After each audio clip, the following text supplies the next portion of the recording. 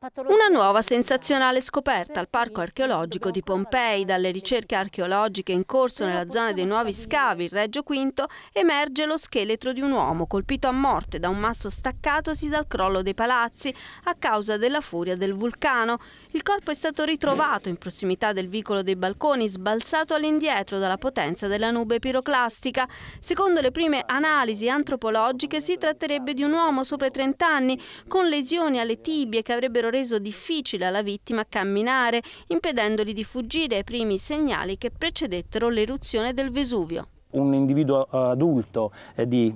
almeno di 30 anni, di circa 1,65 m, maschio, e che tra l'altro cade sul suo eh, dorso in maniera singolare perché